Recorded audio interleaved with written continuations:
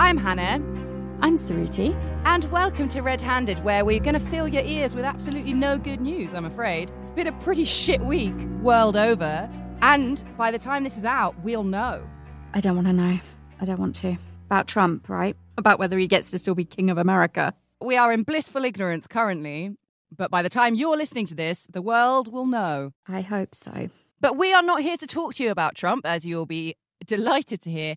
We're actually here to talk to you about France this week. And this is going to get tricky. So I don't know what to say. Prepare yourself for some thought tunnels and some quite uncomfortable internal feelings. That's certainly what I've been having all week.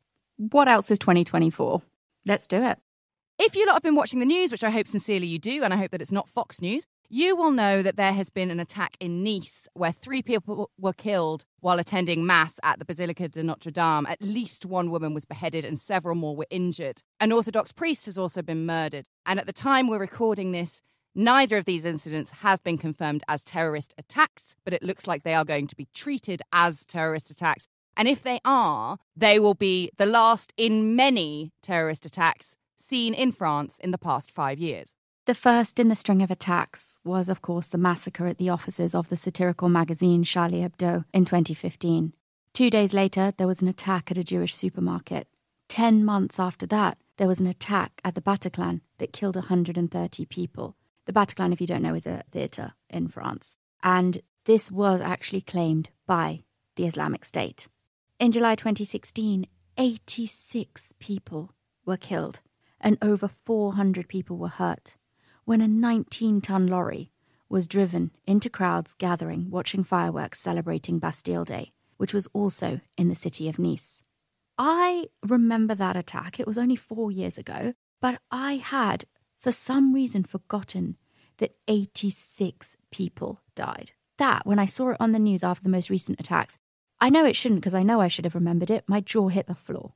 Yeah, me too. Honestly, I think purely because there have been so many terror attacks in France over the past five years. I certainly have not been as up to date with the details as I fucking should have been. Like, for example, like I had completely forgotten that the Charlie Hebdo, the brothers who conducted the massacre at the Charlie Hebdo offices, they escaped. They were away for over 24 hours and they were like sieged into a building for eight hours. I'd completely forgotten that. It's like the Boston bombers. They were on the run, weren't they? Hiding in a fucking skip or something.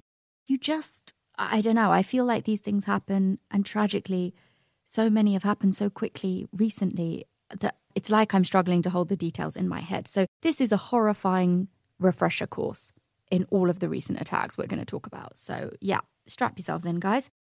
The same month as the Bastille Day attacks, two Islamist terrorists murdered a Catholic priest during a mass in Normandy.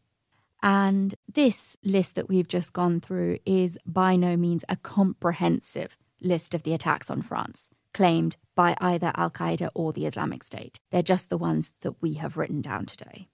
If either Al Qaeda or the Islamic State are things you don't actually think you fully understand, or to be honest, even if you think you do fully understand them, go and listen to the New York Times' podcast called Caliphate. It's hosted by Rukmini Callimachi, who, like, I want to be her best friend. I want her to adopt me. Like, Rukmini, can I please walk your dogs or something? Like, I just want to hang out. There's a little bit of controversy around this podcast at the moment because some people are claiming that the sources are not particularly reliable. You can make your own assumptions about that. Essentially, they interview someone who claims to have been, well, he claims to have been a policeman actually within the Islamic State. And then he comes back to Canada People are casting doubt on whether his story is true or not. But make your own mind up, go and listen to it. And to be honest, even if his story is not true, you learn so much about ISIS by listening to that series that it is well worth listening to. It's honestly the most like comprehensive how, why, what, where ISIS like it will just explain to you why ISIS exists. Why is this in the first place? Where did it come from? Who are they? What do they want? And until I listened to it, I don't think I really understood. I think it is the perfect starting point. Definitely, definitely go listen to it. Rukmini's an internationally renowned journalist. She doesn't need me to gas her up, but like she, yeah, she's pretty great. Go and listen to it. So, we are not covering the same story as Rukmini. We're starting off with an attack that happened because of a civics lesson on the 6th of October 2020, while I was far too busy drinking myself into my 30s to not pay attention. So, a civics lesson is what I assume PSHE is in schools in England. It's like when you do that lifeboat thing and you're like, oh, who is the most valuable person to put on the lifeboat? Is it the doctor or is it the loom weaver? Uh, you know, what, like that's the sort of stuff you do. That is amazing. And I think it is now PSHE, but I think at one point it was possibly called PSHCE and it had the word citizenship in there. But I think it was taken out for some unknown reason. I don't know why. But yes, therefore, I think it is exactly as you said, Hannah, the closest that we have in this country to talking about citizenship in schools. I remember my PSHE lessons being mainly around like, it's like they were making an attempt to teach us something useful, being like, oh, how would you budget your life if you have this much money in your income? I was like, it was just such a weird little workbook that we filled in. I, I don't know. The whole thing was very strange. I definitely remember it being like a fuck off lesson that was like taught by like a PE teacher on like a Friday morning. Yes. But like they don't teach you anything useful like how to do your fucking tax return or wire a plug. No, no, no. I think this is the problem. We used to have our form tutor used to actually do it. And I actually really liked my form tutor. She was also my art teacher. And I do remember in one lesson, I think it, it must have been in a PSHE lesson because I don't know why this was happening. I think the S stands for social, not sexual, but she brought her diaphragm in and showed us. her personal diaphragm. That's a bit much. Quite a lot. Her personal diaphragm. And you know what makes it even better? The other art teacher at the school was her husband. Oh, no. no, no. Mm-mm. So that was what was going down in my PSHCE whatever lessons. Not anything particularly beneficial. May, I don't know. So, unlike England and Wales, where PSHE is not taken particularly seriously, definitely not by me or anyone I came into contact with at school, in France, it's a bit more of a big deal. Learning how to be French is a very big part of the education system, and you have to learn how to be French no matter where you're from. And crucially, being French is not connected to a religion of any kind. These civics lessons are about how to be a moral, civil citizen, and they are a compulsory element of the national curriculum. What do you think of that? What do I think about citizenship and religion being separate? What do you think about citizenship and civics being taught as a form of learning your identity in school? I think fundamentally I'm pretty behind it. I think it's important to have a moral code that doesn't necessarily need to be connected with the afterlife. I think that's an important thing to instill in people. Yeah, I agree. I think on the face of it, having a what is a good citizen of this nation? What are the morals and the values that we hold dear and that we believe in as a united country? What are they? And they are not founded upon, you know, religious texts or religious teachings. I think on the face of it, that sounds like a great thing. But yeah, you know, that's where we are. So, Samuel Paty was a 47 year old history and geography teacher in charge of the civics lessons for a group of 12 to 14 year old students in the town of Conflans-Sainte-Honorine, which is about 25 kilometers north of Paris. The lesson that he was teaching that day was about freedom of speech, and to initiate a discussion amongst his students, Samuel Paty had a series of images. These images included caricatures of the Prophet Muhammad as they were printed in the magazine Charlie Hebdo. Charlie Hebdo had been around since the 70s and was described by the editor Stéphane Charbonnier as left wing, secular, an atheist. It is known and well renowned worldwide for its cartoons, in particular, those that target all religions, particularly Islam. So the title of Charlie Hebdo roughly translates to Charlie Weekly. Some people think that it's after the Peanuts character Charlie Brown. Other people think it's a reference to the death of Charles de Gaulle, a former president of France. The airport in Paris is named after him. I assume he is a reasonably big deal. And I think I read that when Charles de Gaulle died, another magazine mocked his death and then it went out of print because of it and then they were the people that started Charlie Hebdo. So I think it's probably much more to do with that than it is to do with Peanuts, but who knows. Yeah, I feel like what's it got to do with Charlie Brown from Peanuts apart from it also being cartoons? It makes way better sense to be the second thing. I know what I think. So, although Charlie Hebdo is internationally famous now, it actually only had a circulation of about 50,000 readers when the attack on the offices happened in 2015, which is not much. No.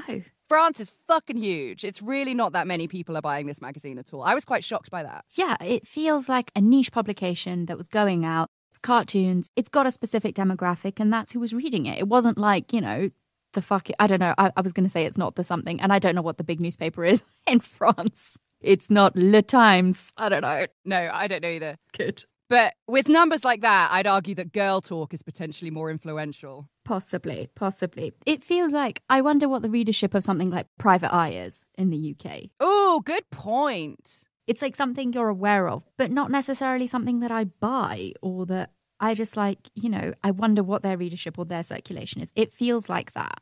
Yeah, someone find out and let us know.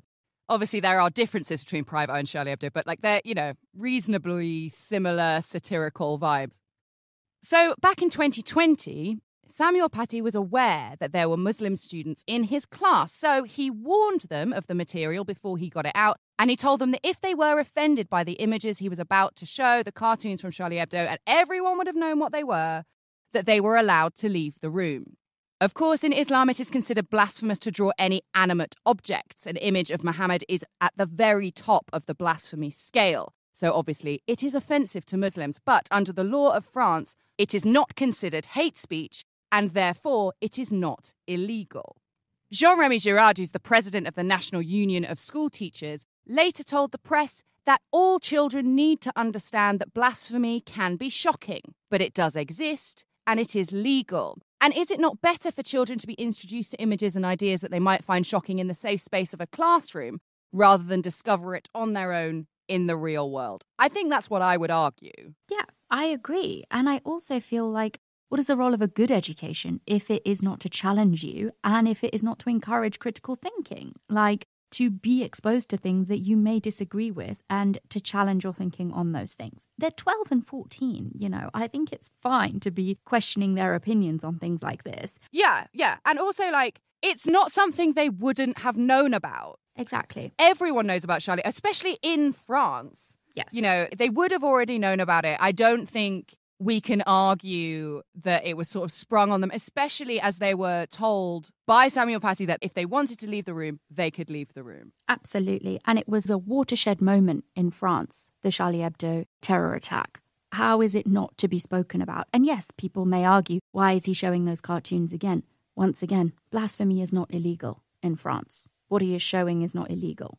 So it's not clear. Like Hannah said, the students were told they could leave the room if they felt they were going to be offended by what was about to be shown. But it's not clear if any of them did leave the room.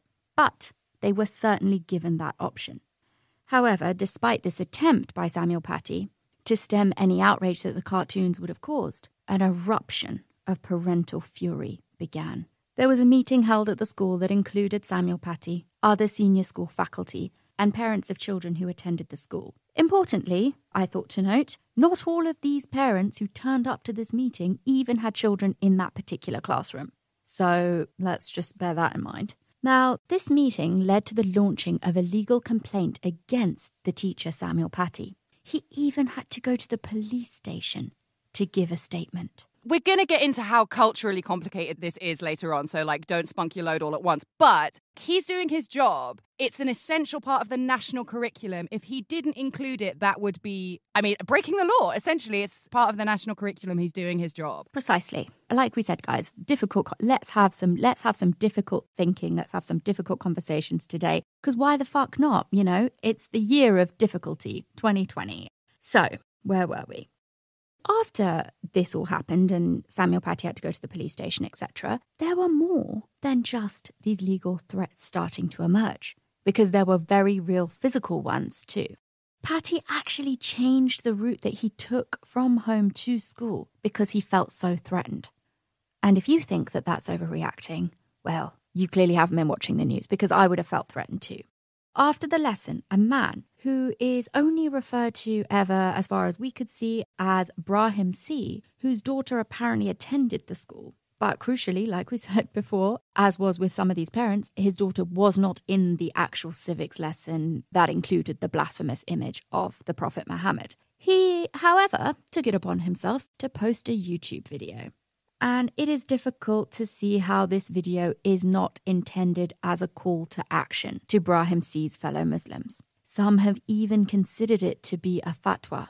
Now, a fatwa is difficult to explain, and please write in and definitely do correct me if we've got this wrong, but our understanding is that a fatwa is a legal ruling by an Islamic lawmaker who is a recognized authority called a mufti, Brahim C, to the best of our knowledge, is not a mufti, so could not be out there issuing such fatwas.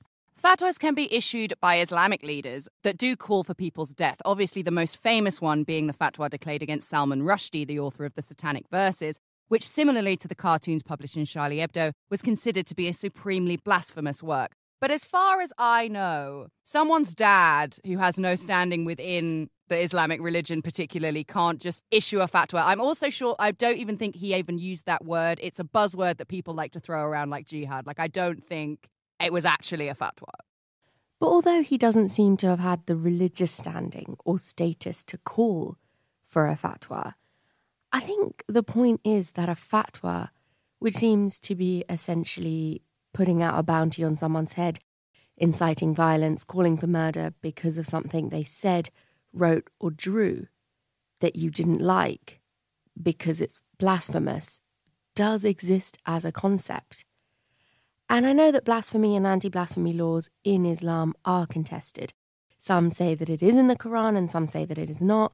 But there is no denying that in many Muslim majority nations like Afghanistan, Iran, Pakistan, and Saudi Arabia, blasphemy is punished incredibly harshly.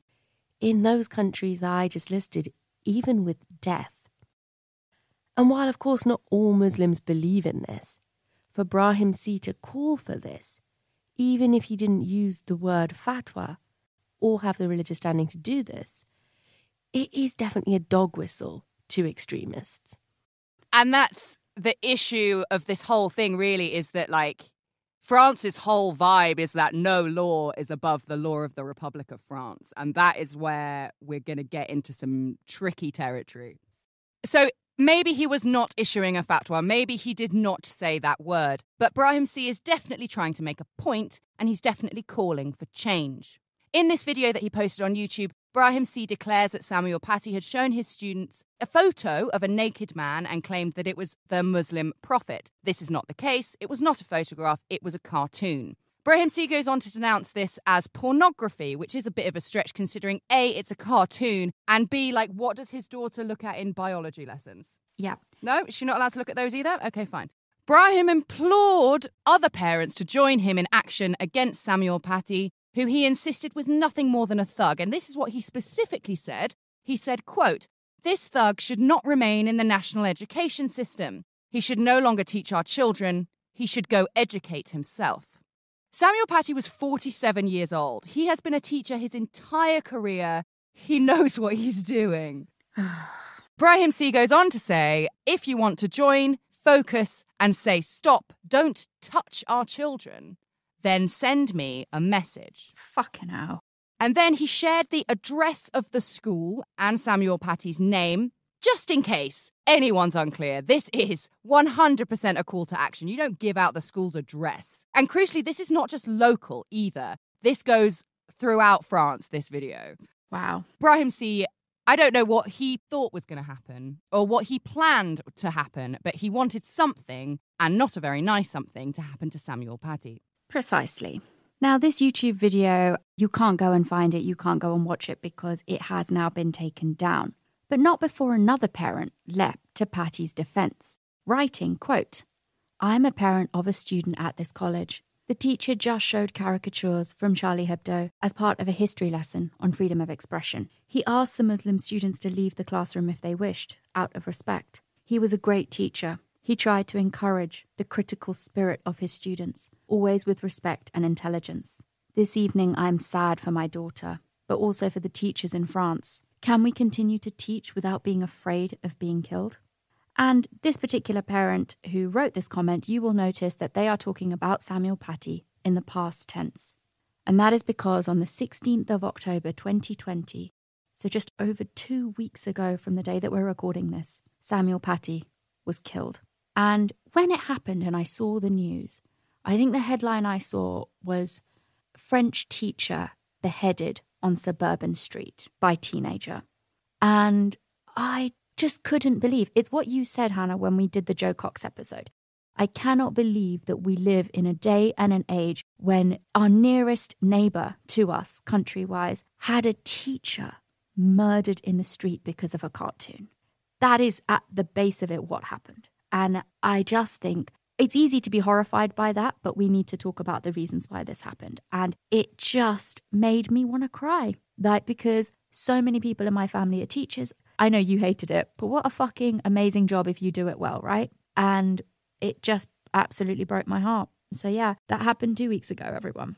So, Brahim C's YouTube video did not go viral, thankfully, but it was shared by Muslim people and mosques in the area and there is no doubt that there was unrest and outrage. Most notably, this video was shared by the Pantin Mosque, again north of Paris, and that mosque boasted a congregation of over 1,500 followers, and after what happened next, they were shut down for six months. Later on, given that they had shared this video that had obviously inextricably been linked to Samuel Paty's murder, they expressed regret but never actually apologized for sharing the video. Did you see on the Facebook group when people were talking about the Vietnam War and all the various opinions of whether the Americans lost or not? I saw the first message in it and I thought, I'm not going to read this because I don't want to.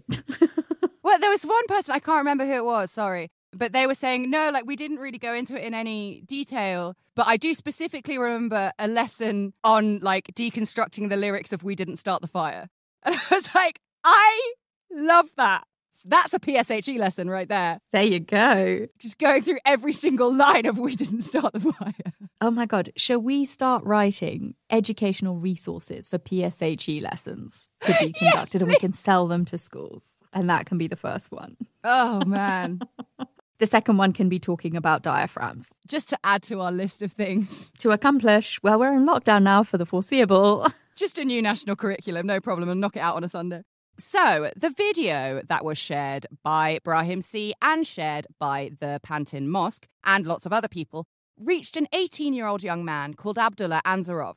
And because this crime happened so recently, like two weeks ago, and because there are minors involved, we don't actually know the step by step timeline of what happened. But we do know that Brahim C communicated with Abdullah Anzorov by text message. Anzorov had no previous connection with Samuel Paty the school he taught in, or even the neighborhood from which the outrage stemmed. He's an external person, brought in, I would argue, by this video initially. Anzorov was a Chechen migrant. He was born in Moscow, but a Russian diplomat has insisted that he has absolutely nothing to do with Russia because he'd lived in France for the past 12 years and had just received his French residency permit. Anzorov had grown up in an immigrant but sort of middle class ish neighborhood in Evreux in Normandy. He lived with his family who had fled the Chechen Republic and settled in France. Anzorov attended a state funded school where he too would have had civics lessons and learned how to be French. He lived in a rent subsidized block of flats, and according to his peers, he didn't really talk that much. But he did do quite a lot of martial arts, mixed martial arts. Sorry, my fault. He really, really wanted to fight in the UFC, but I was going to make a Joe Rogan joke, but I'm just not going to. So, at 16, he took himself off to Toulouse to live with an uncle and to train in a much more legit gym than the one available to him in Evreux. You can all come for my French pronunciation if you want, but I won't listen. Don't you do it. Don't you listen, Hannah.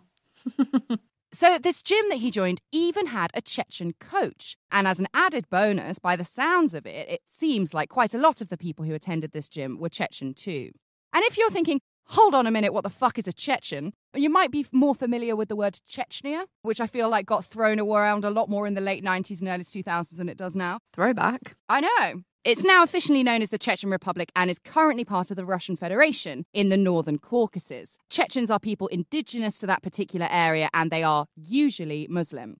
France has offered asylum to loads of Chechen refugees, because the Russian military has been going after Islamist separatists in that region since the 1990s and well into the 2000s. Conflict in the Chechen Republic has been long lived, with violence in the mountains and southern regions all the way up until 2019. But let's get back to the gym.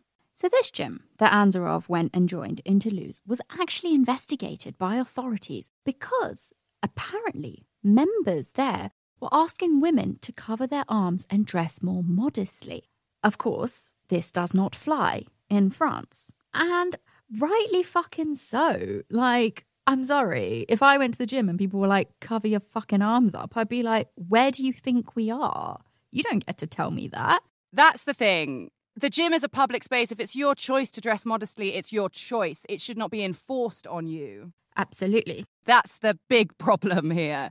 So what we're saying is that this gym is it's a pretty radical Muslim space. Yep. And I think that, you know, coming back to what we say are the values of a nation or what we're saying are the beliefs held there, if the beliefs are that women can dress how they want and the state or whoever else cannot interfere in how they dress or conduct themselves in public, then you don't get to say that in your gym. But what I did think was interesting is after this was discovered, the gym was put under surveillance. I'm guessing that it wasn't just this. I'm guessing if this kind of thing was going on, there are other things that were raising red flags that got them put under surveillance. And I do think, therefore, it is probably fair to assume, or at least safe to assume, that the gym probably would have exposed Anzorov to fundamentalist ideology if he had not already been exposed to it elsewhere. After giving it a good go, it turns out that the fighting didn't work out, and eventually, Anzorov moved from Toulouse back to Evreux, where he started to show signs of radicalization, chiefly on everybody's favorite internet hellscape, Twitter. So he was critical of basically everyone who was not a Muslim.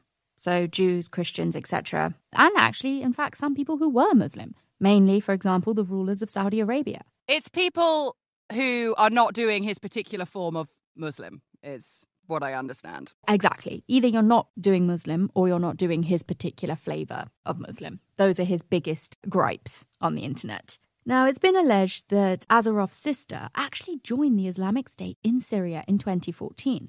But other than that, he does seem to have been a relatively normal kid with a relatively normal upbringing, apart from getting in a few fights now and again. And it wasn't until 2017 that he became fully immersed in religion. But I do think we have to say if it is true that his sister went to Syria three years before this, so in 2014, then I feel like he would have been acutely aware of ISIS from the age of at least 12, if not before. 2017 isn't the first time he's coming into contact with this kind of ideology. Totally. And if your sister moves to Syria, like that's not something you forget. It's not something you're not going to have questions about, you know? And it's not something you're not aware of where she's gone and why she's gone, even at the age of 12. So let's define what we mean by the Islamic State. ISIS is a fundamentalist Islamic terrorist organization. What they want is a state for Muslims, governed by Muslims, following the Quran to the letter. This is the Caliphate, or Islamic State. The leaders of ISIS want to recreate the world of the 7th century, when the Prophet Muhammad was presumably knocking about. So, according to their rules, men have to have beards, Stoning people to death would be a normal form of punishment, and so would cutting off people's hands.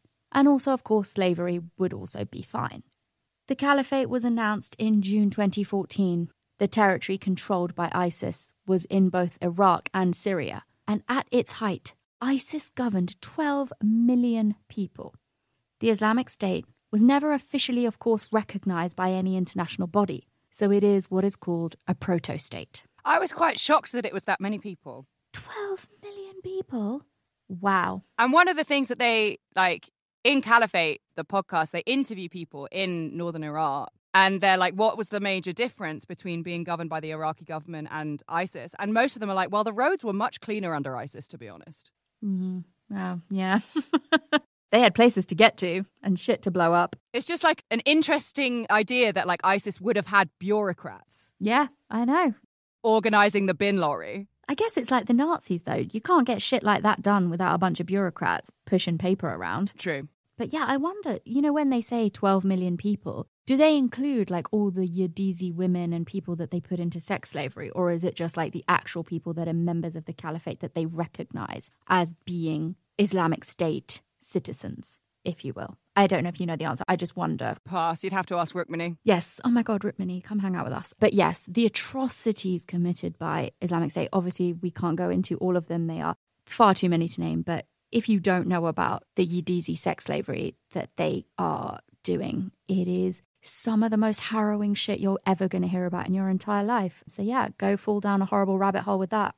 The biggest city ISIS has ever controlled was Mosul. It's like the most politically important city they had control of. And it's actually one of the oldest cities in the world, which I didn't know. And apparently, when the wheel was invented, I don't know how you would go about proving that, but there you go. Big words, big words from Mosul. I find it interesting when they say things like that about regions because I kind of feel like surely the wheel is one of those things that simultaneously was probably invented in lots of places at once, not just like possibly one place, but interesting claim. Maybe the oldest wheel ever was found there. I don't know. I have no idea. ISIS were driven out of Mosul by the Iraqi government in July 2017, and so was the fall of the Islamic State, kind of, some people say, but not really. This has been called a victory over ISIS, especially by Trump, but ISIS have not gone away. They still control some territory in Syria, but much, much less than they did before. And according to The Atlantic, ISIS is bigger now than when they founded the caliphate, despite having lost their ground. And Anzorov would have been well aware of this. So now we know what we mean when we talk about ISIS. Please don't let that be the end of your research into ISIS. Go and learn up as much as you possibly can. Let's follow Anzorov through his movements on the 16th of October, the day he murdered Samuel Paty. What we know is that, as well as Brahim C, students from the school communicated directly with Anzorov again by text message. And on the 16th of October, they met him for two hours outside of the school and identified Mr. Paty. Anzorov paid these children about 300 euro for their identification services. There is an undeniable direct causal link between the communication these students had and that Brahim C had with Anzorov and the death of Samuel Paty. Although they did not carry out the act themselves, blood is on their hands. The students who identified Samuel Paty for money claim that all Anzorov had said was that he would like to make the teacher apologize. He wanted to humiliate him and hit him. So it sounds like the students are saying they didn't know that Anzorov's plan was to kill him. But it was. What did they think he was going to do? Tickle him? Once Anzorov found out who the teacher Samuel Paty was, he followed him, armed with a knife and an airsoft gun. The exact details of the altercation are still unclear, but what we know is that Samuel was beheaded by Anzorov not far from the school. This next bit is particularly important, so pay attention to it. Because after he beheaded this teacher in the street, Anzorov then tweeted a picture of his severed head with the caption To Macron, the leader of the infidels, I execute one of your hellhounds who dared to belittle Mohammed. Calm his fellow human beings before a harsh punishment is inflicted on you. And we're going to come back to this statement later on, so remember these words. So, after the murder, the alarm was raised at 5 pm and the police chased and shot Anzorov just 600 metres away from the spot he had killed Samuel Paty. He was acting in a threatening manner and refusing to put down his weapon, and there were concerns that he was wearing a suicide vest. These are, however, unconfirmed. The attack was treated as an assassination in connection with a terrorist organization, and an investigation is currently underway to see just what that looks like and who he was radicalized by. But we've seen this time and time again about like it's kind of gone are the days where people like go off to fucking training camps in the mountains and get radicalized by Al Qaeda or ISIS in that kind of a structured way. He seems like someone radicalized possibly at that gym or online somewhere. But, you know, I guess we'll have to wait and see what this investigation finds. Yeah, absolutely. As far as we know, Anzorov had been in contact with a Russian speaking jihadist currently living in Syria before he killed Paty. We don't know what was said. Presumably, there'll be an inquest. Seven people have been arrested in connection to this crime, including the students who identified Samuel and Brahim C himself. We don't know what the specific charges are, but they include associating with a terrorist. The seven people that have been arrested also include two friends of Anzorov. One of them is alleged to have driven him to the school, and the other helped him to purchase a weapon. They have been charged with complicity in a terrorist murder. A preacher called Abdel Hakim Sefrioui is also in custody. He has been on the police watch list for years. Meet Charlie. She loves dogs. Guilty. From Wookiees to Treatos, she powers her pup empire with Shopify. The sales won't stop. With Charlie's tech needs sorted, she can focus on turning her home business into a global operation. From in store to social, connect with customers wherever and whenever so they don't go barking up the wrong tree. Yes, boy, join Shopify, the commerce platform powering millions of businesses worldwide. This is Possibility, powered by Shopify. Sign up for a free 14 day trial at shopify.co.uk slash try22. Go to shopify.co.uk slash try22 to start selling online today. So, 40 homes were raided after the attack, and it has been announced that the Sheikh Yassin Collective, which is an Islamist group named after the founder of Hamas, were directly involved in the killing. French President Macron, Emmanuel Macron, who um, I've got a bit of a crush on. You're too young for him. He visited the school almost straight away, declaring that France's battle against terror was existential, which seems like an odd choice of words, but French is a weird language, and that France refused to be divided by extremists. He fiercely defended the education system and the role that it plays in shaping French national identity. Also, the French ambassador to Turkey has been recalled, which politically is a big move. Apparently, the I don't know whether it was the like the leader of the government in Turkey basically said that Emmanuel Macron has mental problems, and that's why they pulled the ambassador.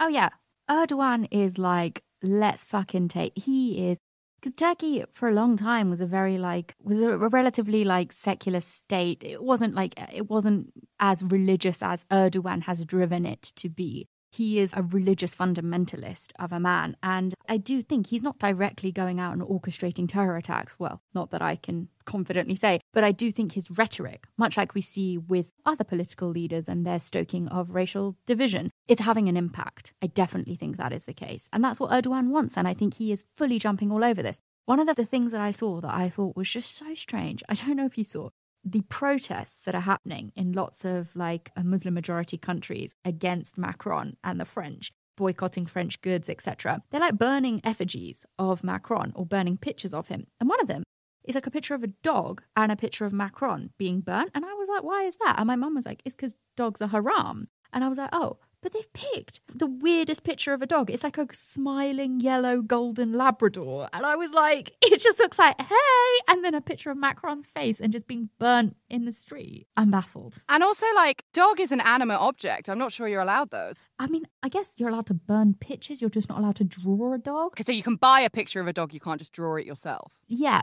you can't draw it, which is why if you look at mosques, there are no pictures of like animals or people or anything. It's all like geometric mosaics or patterns like that. So, yeah, as Suru said, Turkey isn't on its own. There's protests all over the place, and several Muslim nations have announced that they will be boycotting France entirely.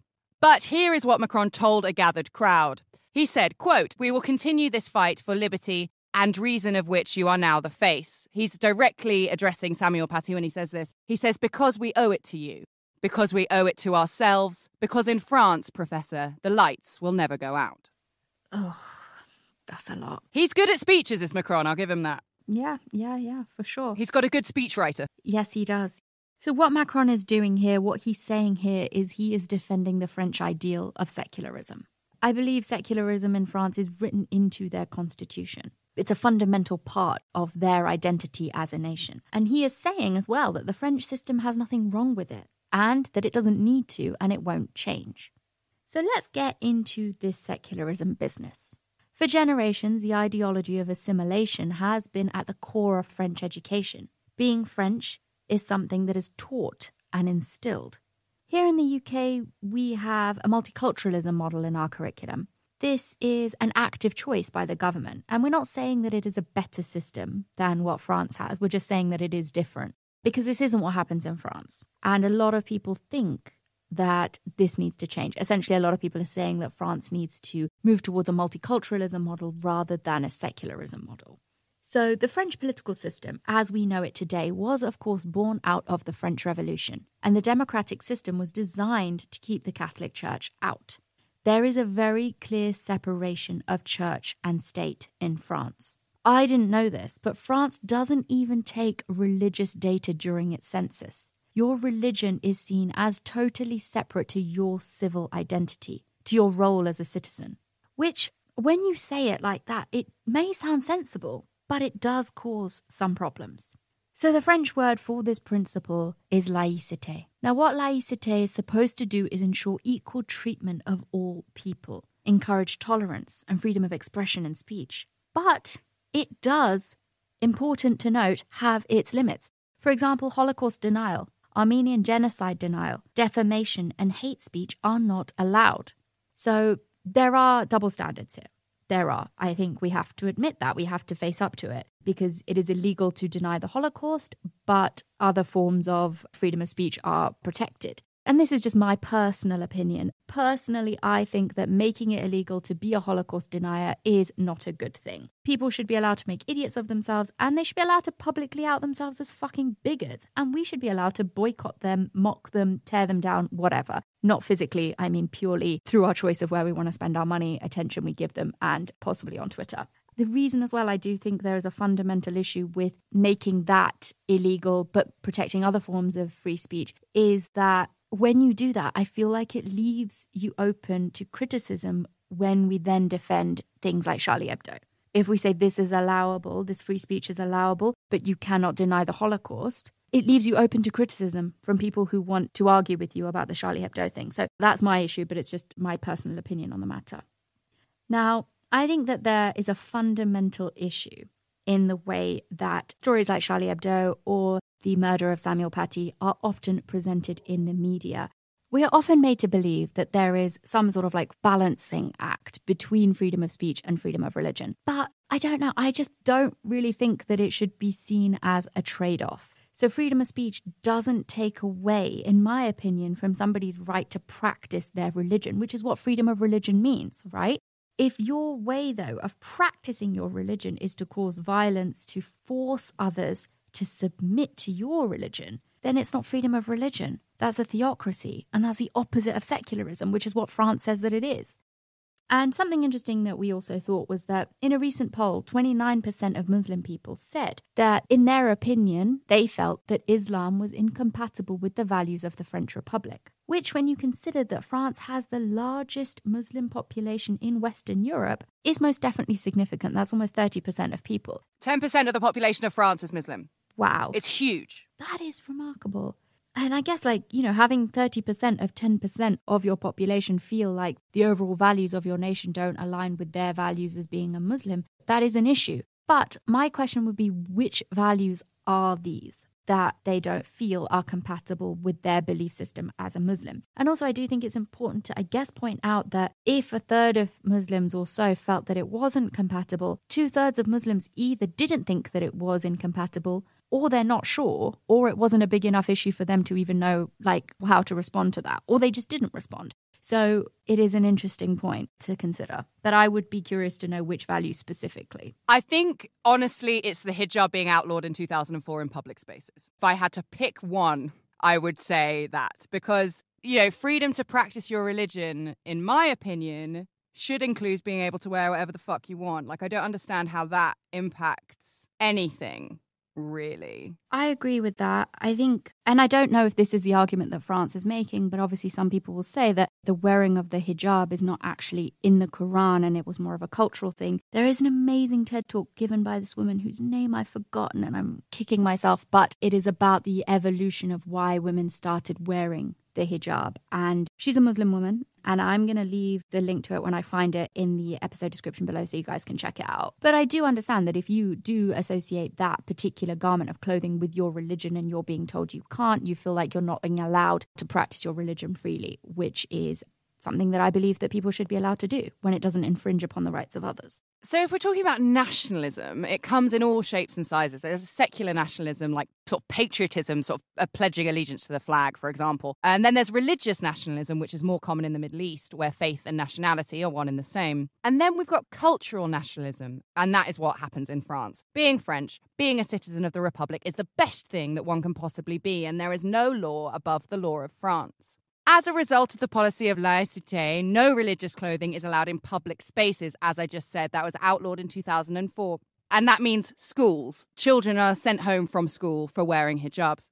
Technically speaking, yarmulkes aren't allowed either, but it seems like that is not as harshly enforced. Interestingly, crucifixes are allowed because they have been deemed to be not ostentatious, and that's the wording of the law. It's no ostentatious religious clothing is allowed. So it's quite difficult to feel like Islam has not been specifically targeted. I mean, that's when it gets very blurry. And I can back that up because a Catholic nun was told that she couldn't stay in a retirement home that was state funded because she wouldn't stop wearing her religious nun outfit. This decree was retracted and she received an apology from the mayor of the town in which she lived. I find it quite hard to believe that that would have happened to a Muslim lady. Protests to allow students to wear hijabs in school and college, university happen all the time every year. It's kind of feels a bit like to become totally French, you have to leave a little bit of yourself behind. And some people have felt a bit robbed of their roots. We should mention, though, that faith schools do exist and they're not all private. Some of them are state funded. So a bit of me is like, if you want your kids to go to a faith school, send them to a faith school. And by all accounts, Samuel Paty was a strong believer in laicite, the secularism that separates religion and state. And actually, Samuel Paty, I read, he once told a student to remove a crucifix necklace. So maybe he was being a bit more fair about it than the government.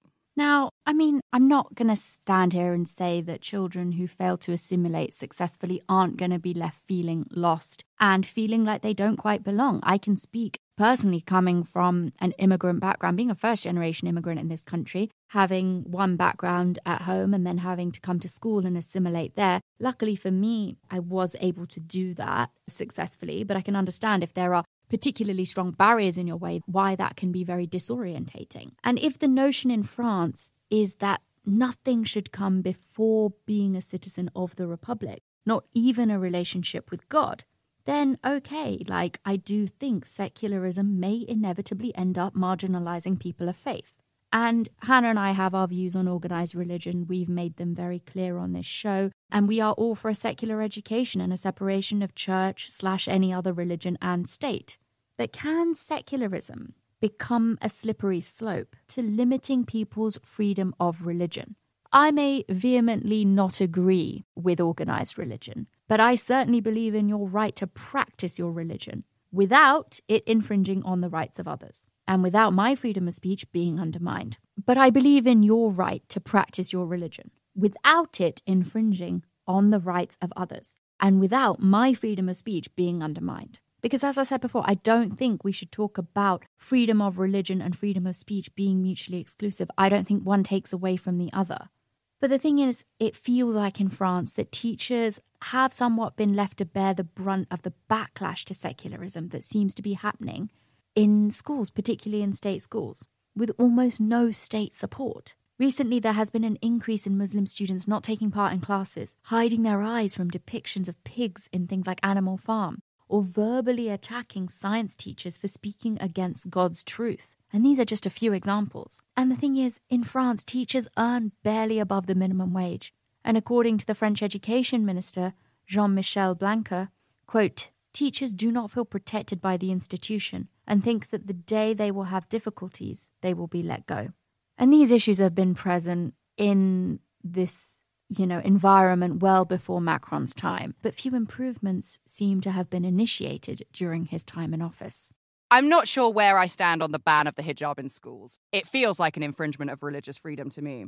But if you are sticking to this laissez policy, if that's the hill you're going to die on, and you're sending teachers out to increasingly radical communities. Because uh, Samuel Paty, he changed his teaching style when he moved out to the school that he was killed at because he knew there was a higher Muslim population. So he was like, oh, I'm going to have to change the way I do this. No one helped him do that. That was his own thing. And I think if you are going to send out teachers to be the defenders of the secular state, you've got to help them out a bit more than is going on, I would argue. 100%. 100%. I completely agree. I had a little wiggle around where this secularism idea came from. And surprise, surprise, it developed in France's colonial peak, which was in the 19th century. Essentially, the idea of assimilation was a social deal. A person could privately maintain their religion and still become a full time citizen of the Republic. This, of course, fits in with the idea that no law could be greater than the law of France. It was an attempt to erase linguistic and regional distinctions within France and a way to negotiate treatment of domestic others, which in 19th century France usually was code for Jewish people. In French colonies like Algeria, Muslims were allowed to practice elements of their faith, like polygamy, etc., that would have been illegal in France, but it did mean that they lost their right to vote. So, effectively, to be eligible for French citizenship, one had to leave their religion behind. It's tricky, isn't it? The whole idea of, I don't know, because I feel like your nation's law being the highest law of the land makes complete sense because you can't have different religious groups or different groups of people believing in different things, thinking that they can do that and then use their religion as an excuse to do that. It's where the law of the land draws the line, like something like FGM. Things like forced marriage was only made illegal in this country a few years ago. Forced marriage is a cultural thing, it's not a religious thing, but FGM is a religious thing. And I'm like, that doesn't get to be okay. That doesn't get to be okay, and you don't get to excuse it using your religion because the law of the land should protect those people, those vulnerable people who are going to be exploited by that. But it's where you draw that line. That's the thing. I think cultural relativism can only go so far. It's a nice argument, it's a very left wing argument. 100%. But it does have limitations, so we have to agree that we all believe in some fundamental truths like little girls should not have their genitals cut off. Like, I think we should all agree on that. 100%. And if you're a liberal and you're like, well, I'm torn between this cultural aspect and protecting children, I'm sorry, but protecting children should always trump, should always win. It should always be the thing that you feel more passionately about than being culturally sensitive to somebody else's beliefs because that doesn't count as much at all. So, no. So it becomes where do you draw that line, really? And that's the slippery slope. Yeah, exactly. Exactly. If we skip all the way forward to 1974, after a period of very busy migration to France from former colonies and beyond, France closed its borders. Immigration for the purpose of work decreased, and migrants were encouraged to return home. So, the immigration policy of France has, like every other country in the world, chopped and changed lots and lots over the centuries. But this idea of being French being something that you learn, something that you adopt, has been a common theme throughout. At least in a way, that is better than some countries where you can live here your entire life, but you'll never really be one of us, I would argue. Yeah, like you can't become Japanese. You're Japanese or you're not. Precisely. And that is a very elitist way. This is almost, they're saying it's the opposite. They're saying this is totally like egalitarian you can become French, but you learn what that means. You learn what the values are. And again, I'm not saying it's the best thing in the world, it's the worst thing in the world. I'm saying it's different and I'm saying that there is a slippery slope and there's a line. But who am I to draw that line? We'll get fucking phone calls from education think tanks tomorrow, and red handed will be no more. Oh my God, I'm pumped. Let's go. So I think it's fair to say that there is unrest in the Muslim community in France. We're not saying that all Muslims are extremists, and we're not saying that extremism should be tolerated before you all go nuts on that. But it does feel as if Muslims in France are marginalized. For example, French guy I went on a date with on Friday said, if you want to find out about that and what a catastrophe it was, please go on over to Under the Duvet for the next installment of Empty Handed. Anyway, he said that having a Muslim mayor like we, Sadiq Khan, who's the mayor of London, is a Muslim. He was like, there is no way that would happen in France, that the mayor of Paris would be Muslim. Absolutely no way. So I don't think we can argue that there isn't a marginalization there. And unhappy people are easier to radicalize. I think there is something to be said for, I don't really know how to say this delicately. Well, it's hard because the UK actually suffered the most terror attacks last year followed by France and Italy. But France actually had the most number of arrests. Almost half of all 400 or so arrests of suspected terrorists within EU member states were made in France in 2019. And clearly, with the most recent attacks, France is back in the spotlight. And the question I think on everyone's mind is why? Why are these attacks happening in France? And some places talk about why, as if France's secular society and the potential this has to marginalize people of the Muslim faith is the only reason. And that feels like just not the whole story, to me at least. But we'll come back to it. So there's a great fear in France surrounding Islamic separatism, and because of this, homeschooling has been banned. And Macron's way of dealing with this separatism is to, quote, build an Islam in France that is compatible with the Enlightenment. So, you know, what he's saying is like, we'll fit it into our box, but I can imagine that Muslim people would not take kindly to the idea of someone else deciding what Islam is, who is not a Muslim himself. Difficult. This is the thing. It's difficult, very difficult, difficult, difficult, lemon difficult. It's super difficult because at the same time, you do need to have a shared set of values. I do believe that the people of a nation agree upon, and this is what we all strive towards. And I think that if you're having 30% of the Muslim population saying that it's not compatible with the values of France, Again, I come back to which of those values is it? And is it just the hijab, the ban?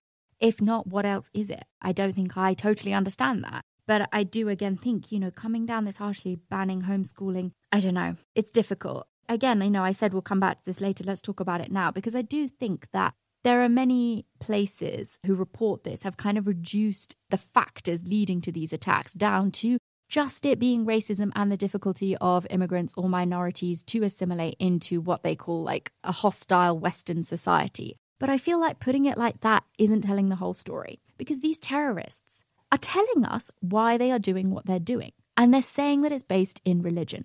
Hannah and I have talked about this before on the show. Like with incels, why is it that when somebody commits a crime like that and they're telling us why they did it, they're leaving manifestos, they're yelling shit, we're like, nah, that's not why.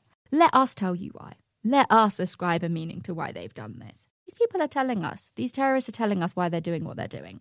And they're telling us what they believe and they're telling us what they stand for. And again, of course, we're not saying that this is a universal worldview of Muslims. Of course, it's not.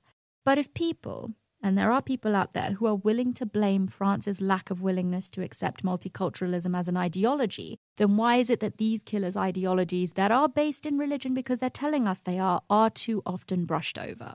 That's the question that I have in my head at the heart of a case like this.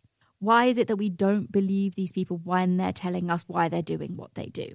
To say that it has nothing to do with religion and honest belief in religion, and that it's just about racism and cartoonists and the marginalization of minorities in Europe feels incomplete at best to me. And that's just my personal opinion. And don't get me wrong, I absolutely grant that there are issues. There are huge differences, like the way, you know, Hannah and I talked about the way that, for example, Muslims are reported upon in the media. Of course, there are. But these killers, these terrorists, are driven by blasphemy. They're driven by a hatred of blasphemy. They're driven by a need to provide justice for those who have wronged them through their blasphemy and the belittling of Muhammad. They are driven by doctrines in their religion, and we cannot deny that. To quote from the killer who killed Samuel Paty tells us as much.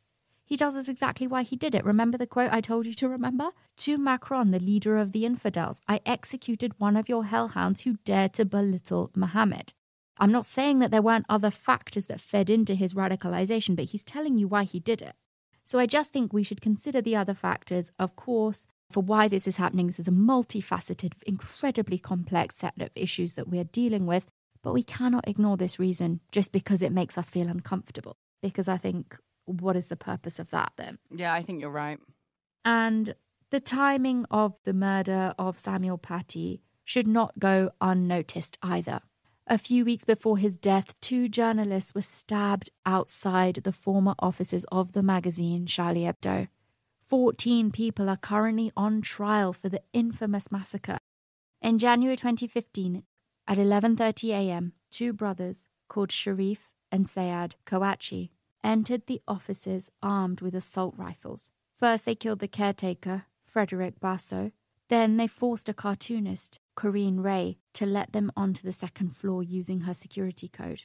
Once on the second floor, they forced their way into an editorial meeting. Franck Brinsolaro, Stéphane Charbonnier, Jean Cabut, Georges Wolinski, Bernard Verlhac, Philippe Honoré, Bernard Maris, Elsa Cayat, Mustapha Ourrad, and Michel Renouf were all shot dead. All except Michel Renouf were employees of Charlie Hebdo, and most were cartoonists, but some were columnists. The police arrived as the brothers left the building, but they managed to escape, and on their way they killed their final victim, Ahmed Merabet. Then they abandoned their car and continued their escape by other means. The police lost their trail. The next day they were found again when they robbed a petrol station 45 miles northeast of Paris. They were pursued until the 9th of January, where they were forced off the road and hid out in a print works on an industrial estate after taking the owner hostage. The brothers stayed in the print works for eight hours. What they didn't know was that an employee, Lilian Lepère, was hiding under a sink for the entire time and was in contact with the police, laying siege to the building from the outside via text. During the siege, the brothers had time for some press. They did a short interview with BFM TV in which they said that they were defenders of Mohammed and they'd been sent by Al Qaeda. Because of the cartoons published by Charlie Hebdo and that they were ready to die as martyrs. It's interesting at the beginning of the trial, which is this year, Charlie Hebdo republished all of the Mohammed cartoons. So the timing is something that we really can't ignore. Just before 5 pm, the brothers walked outside of the print works and were shot dead. Both of them had been under surveillance, but they dropped off the suspect list after it was decided that resources would be better spent on tracing those returning from Syria. Chérif was an active member of the Butte Chaumont group, which happened to be named after a park they used to meet in in Paris. And their primary function was to send European Muslims to fight in Iraq after the US invasion of 2003. Chérif was 32 years old when he died, and he'd served 18 months in prison after being found guilty of attempting to enter Iraq. At least one of the brothers, probably Chérif, had weapons training in Yemen. So the attack on the Charlie Hebdo offices were in response to a now famous series of cartoons. They were republished to mark the start of the trial, which may have contributed to the string of terror attacks, including the death of Samuel Paty in 2020. We are not saying that if they hadn't republished the cartoons that he wouldn't have died. So, what actually are these cartoons? I would be amazed if you hadn't seen them, but here we are. They depict the Prophet Muhammad either naked or being featured as the guest editor. In fact, that issue was entitled Charia Hebdo, and Charia is French for Sharia, as in Sharia law. Charia spelt with a CH like Charlie. And on that cover, Muhammad is saying 100 lashes if you don't die of laughter. Other cover issues featured a Muslim man kissing another man wearing a Charlie Hebdo t shirt. There's no doubt that these cartoons were meant to offend. Of course they are. The question is should that be allowed? Should a magazine be allowed to make fun of a marginalised community? And yes, Charlie Hebdo has featured covers that mock Catholicism and all sorts. There's a pope holding a condom that says, This is my body, for example. But I do think they are making more fun of Islam than they are of other religions. And is that because of the growth of Islamic extremism? Quite possibly. But this is one I have a particular problem with. In 2018, Charlie Hebdo published a cover that showed a caricature of a 19 year old Muslim college student who had been to a protest wearing a headscarf. Her name was Mariam Pougetoux. And in this cartoon, she has a monkey's face. Is that freedom of expression or is that something else? I don't think I would see any person depicted as a monkey and not find that not all right. It's the line. Is that secularism covering for Islamophobia? Is that what that is? Is it hate speech, really? That one made me feel particularly uncomfortable. I'll take the piss out of religion all day long, but when you're depicting a 19 year old girl as a monkey is something I. Absolutely. And again, you know, that's a conversation to be had about what their editorial standards are, what is legally allowable, whatever it may be. But if you feel that way, protest. That is one of the fundamental covenants of being here, being in the West. That is one of the things that I'm proud of. You look at what's happening in places like Hong Kong, protest, go make your voice heard. You can say what you like. You can go stand in the street, wave a placard, scream all day long. What you cannot do and what isn't allowable and what does not fit with the beliefs of this nation and of France is that your offense cannot be taken, of course, to the level that you are committing murder. And this is the thing. Yeah, right. I mean, that feels like a very obvious thing to say. I'm saying and I'm like, what reasonable person would disagree with that? But we cannot make excuses for it and look for look for just escape holes. There are very clear factors at play here that need to be talked about. But it is scary to think again. We're going to come back to this. You know, just like I felt when I heard about what had happened to Samuel Paty. It is scary to think that there are 12 people dead in this day and age because of some cartoons. And you guys are all probably aware very much so of the hashtag that was trending at the time that this happened. Hashtag Je suis Charlie. But I guess the question is five years later, are we still Charlie? And it looks like possibly not.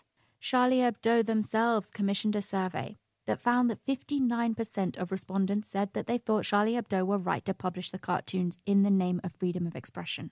But in the under 25 age group, that number who felt that they were right to do so fell to 35%, with 47% saying they could understand why the Muslim community found them offensive and they insisted outrage.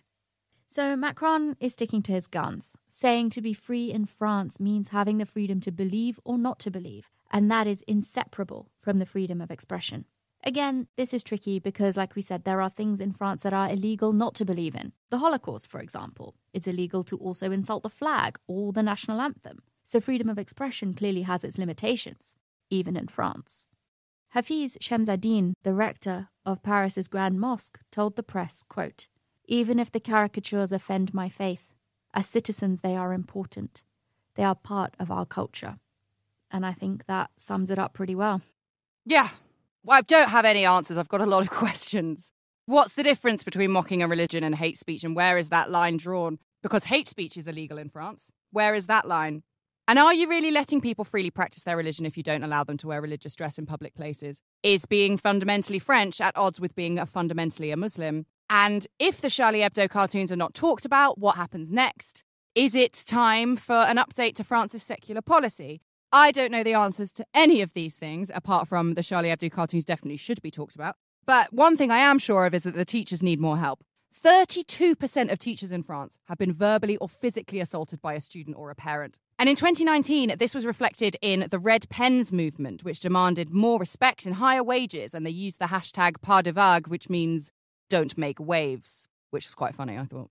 So, if teachers are the torchbearers of laïcité, if one of their major functions within French society is to defend this controversial policy of secularism, surely they deserve more help. Definitely. I mean, we've crisscrossed a lot of very high points this episode, a lot of big thoughts that we need to think. But ultimately, this case came down to a group of journalists being murdered for some cartoons, which some people may deem offensive, some may not, and also a teacher, a 37 year old teacher, who was beheaded in the street because he showed those cartoons to some students. And I think we should never stop being outraged by that. And I know that you guys aren't going to be, but I think also we need to think critically about the reasons that are leading to this. I don't have the answer to what it is that solves those problems. The one thing I will say is that, like I said, when I think about the fact that my parents left India and now Modi, who is carrying out a campaign that is very much suffocating the right of people to have their freedom of religion against Muslims, one of the things is maybe like when they say the zealousness of a convert, as somebody who came here as an immigrant, one of the things that when Western people laugh at the West, I think you don't know how great it is here that we have the freedom of speech to say whatever we want. And so I will just reiterate that freedom of religion and freedom of speech are not mutually exclusive. There doesn't need to be a trade off between the two. So, yeah, I don't know where that line lies for people, but that's what I would say. Hope you're still there, guys. Hope you haven't totally exploded. Yeah, we're just leaving you with some big thoughts. Big Big thoughts. thoughts is the name of my think tank. Love it. You're all invited. I'll join. Can I be junior VP at Big Thoughts? Yes. Excellent. Yeah, exactly that. Change your handle. You'll have to get your own email address. Oh my God, I'm so excited. Suruthi at big thoughts Slash VP dot com. dot tank. That's, yeah, dot tank. oh God. So, yes, guys, if you would like to join our think tank, all applications, I don't know, send them somewhere. Send them to Prince Andrew. Prince Andrew, what was it? Sweaty nonce at princeandrew.com. He's in the tower. If you don't know what the hell we're talking about, that's because you aren't a Patreon. You want a Patreon? You want a patron? You should probably think about becoming one because we, we really like to take the edge off there with all of our sweaty nonce jokes. So if you are a patron, if you'd like to become one, all $5 and up patrons, head on over now for this week's Under the Duvet, where we're talking, as Hannah said, about her latest experience of empty handed. We're also talking about the upcoming US elections that we don't know the answer to yet, and UK lockdown, and also a yellow turtle. So come hang out with us there. We've also got some really fun stuff going on for Patreon this month. We're doing a $20 up live stream that will be available for $10 plus people afterwards. And it is on the Maura Murray case. So Red Herrings this month is on Maura Murray. It's going to be very interesting. And we have also got a very interesting $10 and up bonus Patreon episode that is on the case of Sydney Loofe. So if you want to come check that out, you know where to do it. And if you don't, the link's in the episode description. But before we leave you, we've got some thank yous to do for some lovely people. Oh my God, there are so many of you. Right. Erin H. We? Why? Yep. Harriet, Lena S., Sarah Walsh, Charlotte Dawser, Frankie Bradshaw, Rachel Rains, Kelly Craddock McEwen, Jekka, Liz Russell, Candy Luca, Candice Driver, Tarquin Repapera, Sarah Giles, Rebecca Hardesty, Tom Paget, Ella Todd, Lauren Shriver, Elle Cassin, Stephanie Barlow, Caitlin Harrington, Maya, Lot, Carey, Caris Berry, Cookie Dickerson, Emily Weaver, Ashley, Days, Annie Fitzgerald 505, Deirdre D, Katie White, Beth Turner McLachlan, McLachlan? Yeah. Emma um, Gallina, Sarah Bancroft, Lily Wald, Alexandra Hess, Ludmila Lang. Oh God, Lang. I don't know. Sorry, sorry, Ludmila. Samantha Lape, Adele McNeil, Raphael LD, Steph Crawford, Hannah, Emma Williams, Danielle Jones, Daphne Tallman, Rhiannon Taggart, Bambi Higgins, Haggins even, Raina Deaton, Dayton, Rebecca Bryson, Danielle Bailey, Taylor Vaughan, Natasha Berg, Margarita Nelms, Emma Dodd, Kellen Williams, Laura Dixon Caldwell, Kirsty Duncan, Colin Cara, Nicole Thorpe, Holly Tregurtha, Megan Termazy, Sarah Gann, Kelsey Weeks, Elena Caridwen, Catherine Knox, Alexandra, Roberta S., Cheryl Lee, Chelsea Rose, Victoria, Dominique Morneau, Jennifer Allen, Kat Bumble, Varisa Cruz, Patty Fenning. That's probably a silent P, isn't it? Jill Maria, Laura Muir, Rebecca Wilmer, Maria Cristo, Emily Minch, Sophia Fratticelli, Stephanie Rodriguez. I feel like there's 17 bajillion Stephanie Rodriguez's, but we love every single one of you. Danielle, Crystal H, Vicky Griffin, Kat Ebbett, Kaylee Larson, Jeremy Mindy, Stephanie Vanever, Vicky Jacobs, Orchid Corsetry. That sounds like it's a company. Um, send me a corset, babes. Rebecca Hensley. I'll put it on my Instagram. Vanessa Hanshaw, Natasha Haynes, Ashvin Kara, Jen Vardaman, Luke Matthew Sutton, Kim Howell, Marissa Donnelly, Rachel Anderson, Michelle Ellis, Louise Weil, Jennifer Banks, Sophie Mullen, Edward Hearn. What are you sniggering at? Jodie Taylor. It was Michael Ellis, but I appreciate you calling him Michelle. It's been a long ass day. it has. Edward Hearn, Jodie Taylor, Kayla Cruz, Callie Engel, Jasmine Turney Wallets, and Sam Ferret has got a ferret in his trousers. Well done to making it this far. I don't know how I made it this far, to be honest. Today has been a day. It's been a long one. So, we'll leave you to your own days, and hopefully they are lovely. Goodbye. Bye.